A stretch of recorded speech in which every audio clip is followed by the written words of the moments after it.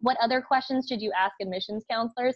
So this is a tough one because I feel like in the, the same way that you said that admissions counselors are numbers driven, a lot of admissions counselors are going to always talk about the best things about their school, but they may not mention the worst things about their school. So, um, so I think that while you should ask a lot of questions to admissions officers, like what extracurricular activities does your school offer? What are the main specialty areas that you know they have unique programs in? There might be some really amazing clinic, like a immigration clinic that does work with like detainees or something that you are dying to do and that might only exist at one law school so like ask them those questions um, but um, as far as you know other things that i think you should be doing is message the students on LinkedIn. I would guarantee you now, law students all have a LinkedIn as well. So, like, reach out to students at your current prospective law schools, you know, the schools that you think you want to go to, and ask them, like, hey,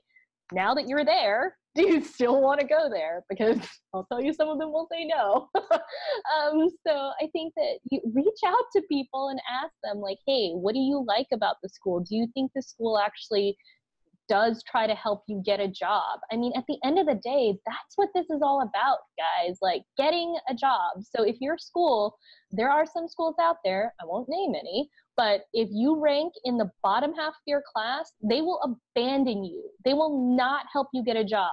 Like, good luck, buddy. See ya. and you could also and you could also lose the conditional scholarships oh, based oh, yeah. on ranking oh, in a certain part of the class, like top yeah. third.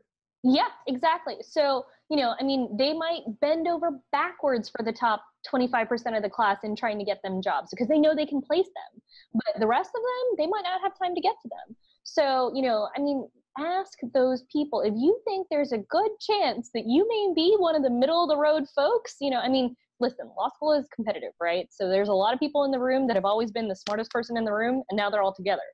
So, you know, so I I think a lot of people don't realize like, hey, if you apply to a school where you know your LSAT score and your GPA are such that you would be lucky to get in, and once you get in, now you're competing against all the people that have the better GPAs and LSAT. So like you have to think about how are you going to get that job afterwards so you know talk to the people who are at the law school and talk to people who are have graduated from that law school and ask them like what were your prospects for getting a job how did you find your first job how did you find you know jobs in the summer Thanks for tuning into the show. Please subscribe if you haven't done so already to be notified of new episodes as I release them. And feel free to reach out if you need anything at all as you move forward with your prep. I'm happy to help however I can. In the meantime, I wish you all the best and take care.